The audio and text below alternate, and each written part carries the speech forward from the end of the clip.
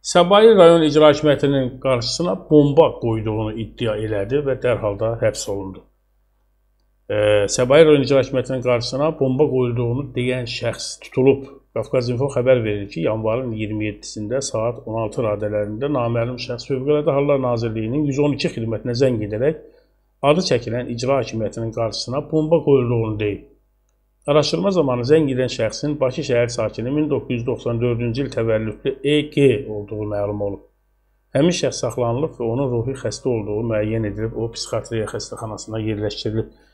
Elə mən xəbəri başlayanda və oxumağa və o e, bu xəbərin mahiyyətinə keçəndə elə onu deyəcəkdim ki, adam dəlidirmi, adam xəstədirmi?